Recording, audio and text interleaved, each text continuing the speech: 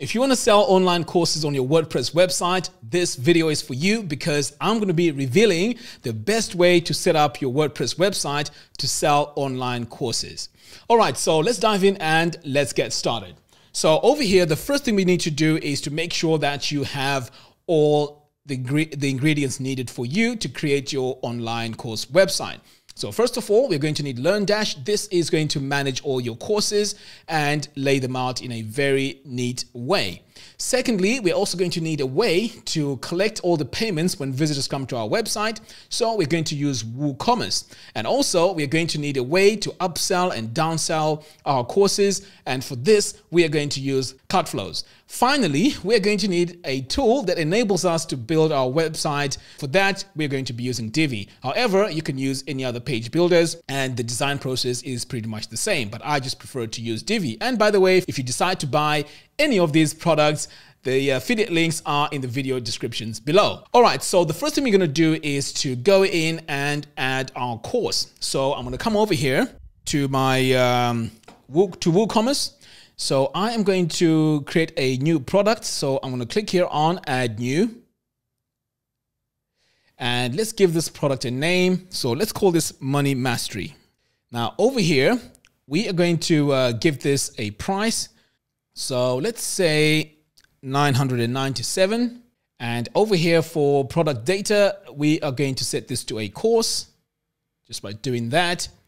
So pretty much that's all we need to do. I am going to hit publish. So that's our course created now. The next step is to actually create the um, the landing pages for our course. And for this, we're going to use Cartflows. So I am going to uh, come over here to Cartflows. In fact, let me update this page. Right, so here I'm to click on add new flow. So here Cartflows comes with these templates, but you know what? I'm, gonna, I'm not to worry about uh, choosing any of these because I'm to override it with my own template that I created using Divi. So I'm to come over here, click on import. Okay, so as you can see, we have the landing page, the checkout page, and the thank you page. Now let's give this uh, flow a name. So we're to call this Money Mastery. Okay, I'm just to click here on update.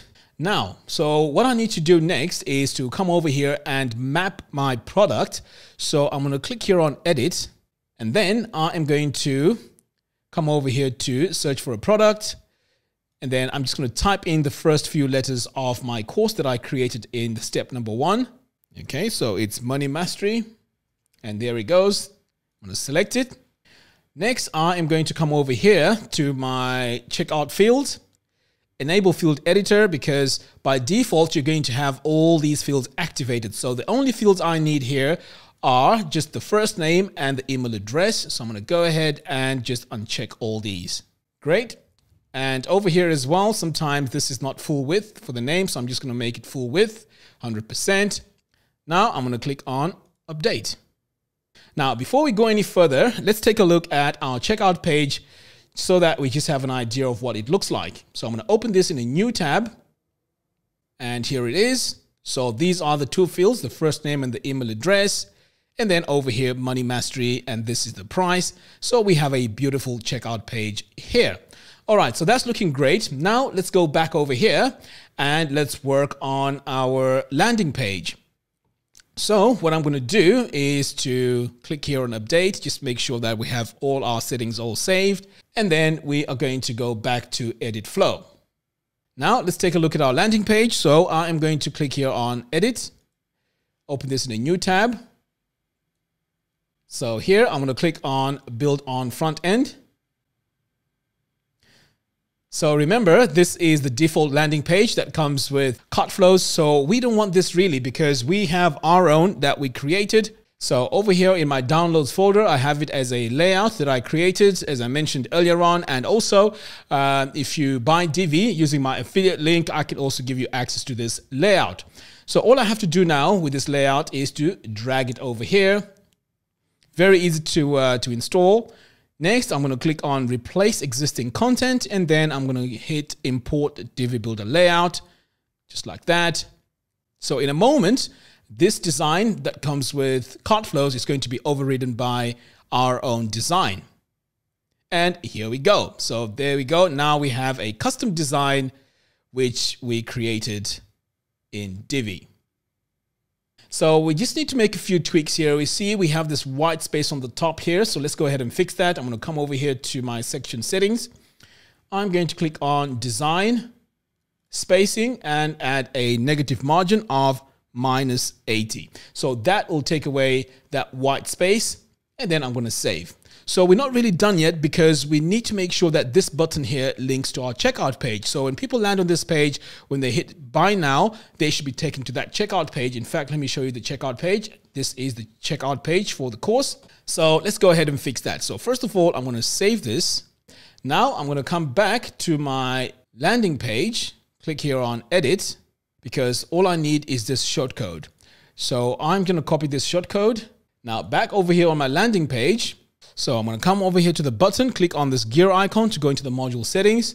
And then all I have to do is to, uh, to add the link that I've just copied from my previous step here. And then I'm just going to hit save changes.